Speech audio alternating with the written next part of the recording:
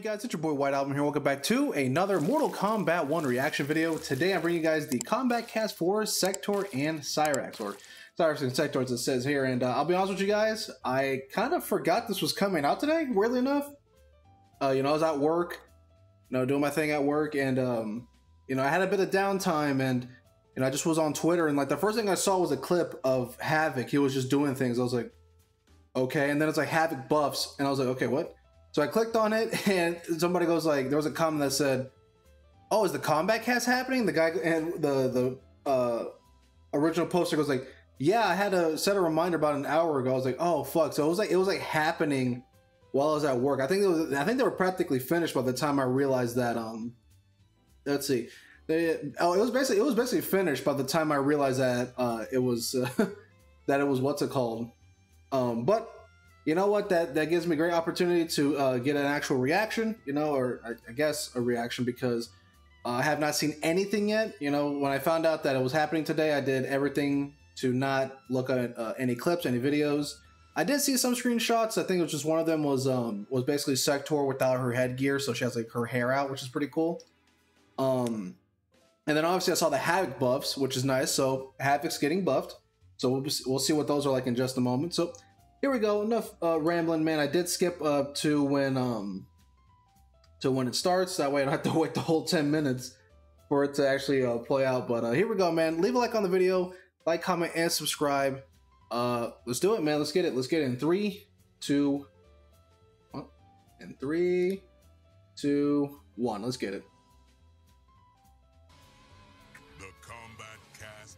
All right, here we go, man. Because I, I, can't wait to see how Sektor plays, man. I want to see what they what they got going on for her. And Cyrax, I don't know. Maybe they'll maybe they'll bump my uh, my hype up for Cyrax. Everyone to the latest edition of the Kombat Kast. It's been a little bit since we've been here. A little bit, a little bit. But we are here. Turn to up just a skosh. About some of the new characters coming. Going to talk about Chaos Reigns. Robots rule. Okay, before I actually get into here, uh, it's funny because they're doing a, a Kombat Kast for Sektor and Cyrax, which makes sense. It's the you know it's the the the cyborgs, the Iron Maidens, as I call them. Uh, but it makes me wonder. I, I guess they're going to be doing a Kombat Kast for Noob Saibot by himself. They're going to give him his own Kombat Kast, which is pretty crazy. Uh, which also makes me wonder. Uh, when are they going to show off his gameplay trailer? Are they going to do it like the week before Chaos Reigns drops? I think that would be the most likely case, right? Because we had two weeks between Sektor and Cyrax's trailers, so two weeks is like what the 18th, which is a Tuesday. They could probably drop off a Noob Saibot's trailer, and then the 24th, which is the week after that, is uh, or they could do the Kombat Kast like say on a on a Thursday or Friday, and then obviously the 24th, boom, we got Chaos Reigns and we got uh, the Cyborgs and Noob Saibot. So. Uh, wonder how they're going to do it. Wonder how they're going to do that. So let's get into it. Let's keep going. Sorry again for pausing, but I literally just got off work, so uh, I got changed, ate a quick snack, and I legit set up, and here we are, man. Let's do it. so sorry if I'm a little, a little, uh, I look a little like uh, sluggish. Stephanie Brownback, QA lead here at NetherRealm, and technically in Liu Kang's new era, they're not robots. Although I agree in spirit that robots do rule. Robots just rule in general. Fair. That's true. Unless Fair. they take us over, then they do not rule. I'm fine with it. Thank you, for, thank you for the for the lore there. That's but we we need that. Mm-hmm. Now, before we get started, a lot of you have already seen it, but if you haven't, there's at least three people that have. Yeah. Mm-hmm. If you haven't, let's take a look one more time at the Sektor trailer. Uh, I'm just skip it because we've already seen it yesterday. So, boom, skip that. Let's keep going, shall we?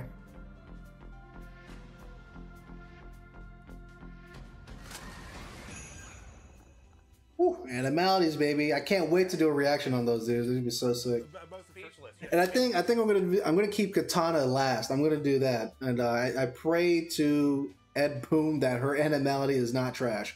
Both of the first trailers have been really amazing. Just, Yeah. just the the way you see the characters evolve into like you still see things you remember, but it's it's evolved.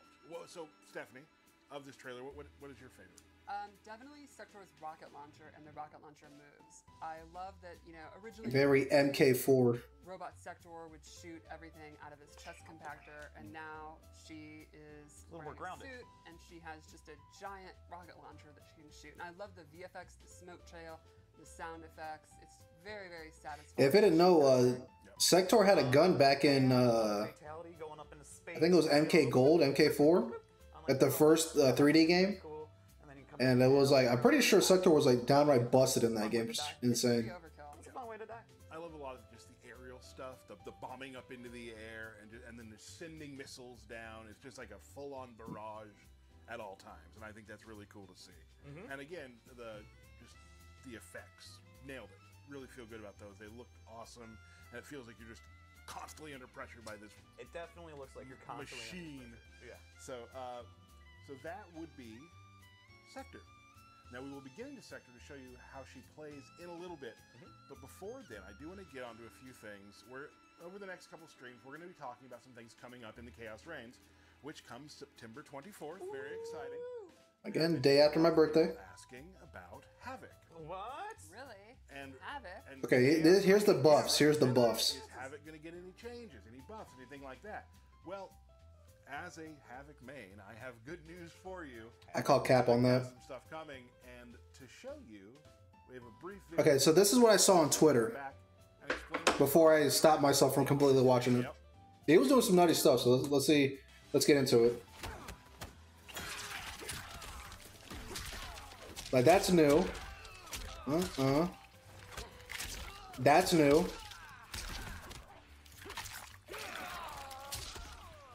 Either burned it. Nice. So that was pretty cool. Havik got some new stuff. He had, looks like it's like a new like he has an over. Wait, hold on. Did they give him a dive kick? Let's go back to that real quick. Hold on. Let's see. Uh, uh, does the fuck? All right, I guess we're gonna do a side analysis here. Uh, uh, okay. So Liu Kang does four four. He does armor, knocks him down. Does an instant jump meter burn and it pops up. That's insane. It's no Nitara dive kick, but that's he's got a brand. He's got they gave him two new moves so far from what we've seen. Okay, so it's this normal uh, aerial string. Uh, uh, I think that's stand one two. And then I'm pretty. This is a new string. Goddamn! Look how contorted his body gets. Hold on, I went too far. Uh, uh, uh, uh. What the hell, dude? What an insane. So that's a brand new string for him, which pops up. Then does meter burn, uh, the tether, then snaps the neck. Which that's a, that's an unblockable if you never pl- faced against a Havik. It's funny because I remember I played Havik for like a day. I played him like for one single day, and I was like, "Yeah, he's pretty cool," but I didn't really continue playing with uh, playing with him on uh, afterwards. So okay, those are his new new buffs. Okay, new buffs. I don't know what the. I'm guessing his armor move now is it faster on startup? Hold on, let me let's watch this one more time. Uh, uh, because there's a gap between this. It might activate faster. I have no clue. Maybe he gets his armor faster. I, I have no clue what would be the difference here. Hard knockdown does the jump. Fucking. So obviously that's going to be an overhead. So you better. That's definitely going to be either. That's got to be like punishable and block, right? They're not going to do what they gave to Nitara, right? Weirdly enough, I feel like it makes sense with Nitara. It shouldn't. It shouldn't make sense with uh, with Havik but he's got an instant not instant overhead but he's got an overhead that he can do. So that's a new move. So i bet you that's just a hard knockdown on like normally but on meter burn it's uh it's a pop-up. Uh again normal air string combo he's always had. Stand one two. I think that's stand one two. Knocks him down. Does it again. So he does stand one because I think that's I think that's either the start of stand one or stand two, and then he goes into this like low that knocks them up in the air. Uh, Uh, airstring again. Uh, into meter burn tether. Uh, okay, man. Ooh, hopefully that's a hopefully that's good, man. Because look, as much as I hate fighting against Havik, he's uh he's oof, he's he's rough, man. Especially when you're trying to like learn and play with him, and then it's not until you actually play with him online that you're just like, this character fucking sucks. But uh, it, it, it's between like people like to I like when uh, when you go on like Twitter and you see like the like Sub Zero players and Havik players trying to fight for who who has the worst character in the game. It, it's so funny. But let's keep going. But not bad. Okay, not bad. Not bad. Something you want to go back and watch again to see what had happened. But there are a couple things in that video which, if you know Havik or if you've played against Havik, you know are very different. Uh, for instance, in the match, Liu Kang uses his uh, Towards 434, which has a big gap. Now, Havik's arm flail is now faster. Okay, so I, I was right. It's faster on startup. Okay. So it actually can get through that. Okay. So that's a big change for Havik. Really going to help out some Havik players. Okay, cool. You, uh, so they buffed his armor. I will say though, did they nerf the amount of hits it can take? Because let's be honest, there's no reason why that fucking move needs three hits of armor. I think, if I remember correctly, that move has three hits of armor. Does not need that. Um, I don't know why. It doesn't need it. I mean, I say that, and Ashrah has the same thing too. She has like a quote unquote flash parry. Uh, but I don't think it needs to have three hits of armor. But you know, that was their decision for some reason. But now it's faster on startup and the armor activates faster. Okay, so I kind of got that. Punish, which is nice. He also has a new move in the uh, air you might have seen. It's kind of a stretchy kick. Uh, if you use meter on that, it Go actually havoc leg. right. If you use meter on that, it actually pops up, which Okay. is ground bounce. So you're able to get a little more Bounce. you know, more bounce in, in your stuff. More and- bounce for your back. There right, you go. and get some more combos out. Uh, he also has a new move, which is a low launcher. Yeah, this one I really love the animation that he's breaking his own knees to get down that low and scoop you up. Right. So some more It's the easier way to do it. Yeah. more combo potential again. Um, and then finally, his uh, jump to four has a different reaction, so you can do Mm. uh, just more combos. Okay, I, I did notice that. Push your back further. Now it now you're able to do more combos. Right Okay, so they made it so it floats your character a lot more. Okay. So I'm sure you're gonna Instead of that weird, like, pushback. Okay, not bad, not bad. Fans, I'm sure you're gonna enjoy those changes.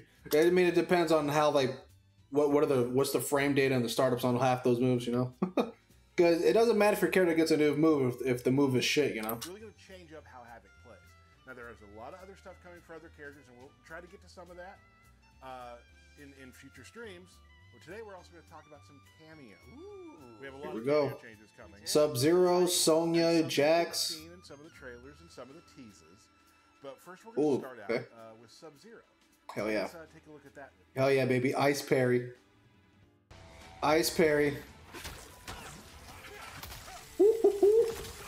I love it. No fucking way. He does fucking ice clone. He does the ice clone toss. You can do the ice clone. There better be a brutality for that, man. Come on. The cameos, in my opinion, are lacking in brutalities. We we need some new brutalities for these cameos, man. That would be such a sick one. You fucking freeze yourself and Sub Zero tosses you and they just shatter. Oh my god, that'd be such an insane brutality. That that's really cool. That's really cool. Depends. What's the startup on the ice freeze on the ice parry though? Is it like an armor that I could do on wake up? That'd be nice. Because if if ice parry has an insane startup, then well, I mean, I guess I could watch it one more time. If Ice Parry has like such an insane startup, dude, you could like legit do parries like like in between gaps and shit if you're quick enough with it. But then again, with with um, cameos, they're usually slow on startup when it comes to uh, certain moves. Cause how like against uh, I, I'm gonna go on a tangent, not a tangent, but with uh when you use Shujinko against Reiko, Shujinko gets Reiko's uh what's it called his parry it fucking sucks because it just doesn't do anything. Like, I don't know if Reiko has any gaps in his strings, but even on Wake Up, it's trash. Even though it's supposed to be like his armor thing. But you know. Let's see. So I want to see. Oh, that that's actually a really quick startup. That's actually quicker than his like ice armor. That's pretty quick. Huh? It looks like the ice the ice is not it doesn't last as long. Okay. So if I was to say to use Kitana and I do that, uh, I can't set up wind bomb. Okay, so that that's that's that's a neat thing to know. Okay. But that, that's so sick. I need that to be a brutality. I love that. So, Cameo Sub Zero has a parry now. That was chilly. That was okay, chilly. very good. Very good. That was cringe. Uh, love parries in any game. So uh, you'll notice in the video when uh, when they could have poked, they used the parry, Uh-huh. Right. which freezes them, and you can also combo after, after that. Now, a lot of savvy players might start knowing you're going to parry and wait. And then what are you gonna do? Well, then you can just throw the clone at him. You can throw an ice clone. You can throw the ice clone at advantage too. so there's just another some some new stuff to bring into the Sub Zero. At advantage. Throwing the ice clone. Right, and you know Havik. A lot of people use Havik and Sub Zero, so this is you know, two things that work well together as well. Um, we also got one more to show today. Uh, one of my favorite characters in Mortal Sonya? Kombat history. Uh, Jax has a new. Oh, move Jax. that I What the fuck? is pretty awesome. They're not gonna show Sonya? She got arc kick and uh, bicycle kick again. Come on, like one of her like most iconic moves, and then they're gonna show her off. Awesome. But we got Jax. It's also an old man. Right, a new move for this game, but he's used But it for classic, years. Yeah. Uh, let's take a look at that video. The video. gotcha grab.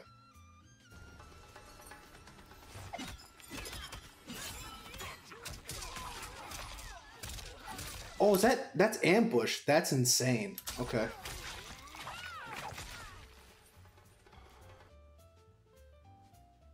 Classic gotcha grab. Yep. one of the best moves ever. So what you can do with this is if you are playing somebody and they keep using a similar sequence with their cameo, you can call Gotcha Grab out. He's gonna get you. He'll get you. He's gonna get you. He will punch the other cameo. He has two hits of armor, so you can stop their cameo in their. Bro, Sareena spammers are gonna hate Jax, dog. Sareena spammers are going to hate Jax, dog. Two hits of armor, you can tank her fucking uh what's it called? Like you can duck the move, call out Jax, he tanks the two hits and he just grabs Sareena. Oh no. Bro, Sareena spammers are gonna fucking hate Jax cameo, dude. tracks like that. He doesn't mess around. He does. He He doesn't mess really around. does. So it's just another thing that's added to Jax's arsenal to to help, and it's I really enjoy it because I like things that affect other cameos, Right. like seeing cameos interact. And it's like he has now almost the full spectrum of his classic moves, Yeah. which is cool. So that'll be fun to use, and I'm sure a lot of people will like you know you you play your friends all the time the same thing. They have the same thing that they do, and now you have this little little wrench you can throw in. I'm gonna get you. And keep in mind when you're hitting their cameo, their player is taking damage. That's right. So Ooh. big things there. Uh, but I think I, I know why a lot of people are here right now, Me. Derek. So there are things things on the horizon, yeah. Oh, I wasn't being serious, but yeah, there's always some things on the horizon, bud. Uh, so we have some stuff coming for invasions that we're gonna hold, right? Yeah, so of course we're gonna have a new season. Um, we've got a lot of just fun quality of life things that we we've done to this new season, season eight. But we're gonna wait until the next stream because we've got two characters to go through today, We do. right? And I think we people really want to see what's up with these condiment characters. Yes. You know, the condiment characters. That's funny. So they're gonna be, so they're gonna keep the stuff for invasions next uh next stream, which is gonna be the noob Saibot one. Okay, that make I guess that makes sense. Um, I just wonder what I wonder what they're gonna talk about because I still don't know who. The, apparently, the next season is gonna be based off of Liu Kang, which is sick because I love that. I love his uh Order of Darkness skin. It's like one of my favorite uh OD skins in the game and obviously I'm, I've been using it on him. Uh, and if that's true, that's pretty cool. I still want Kitana's full. I want all the palettes for that skin, you know. know what I mean?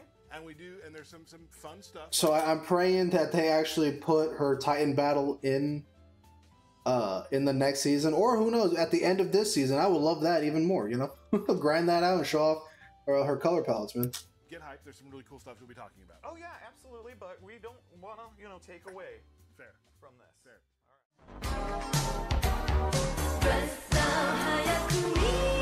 All right.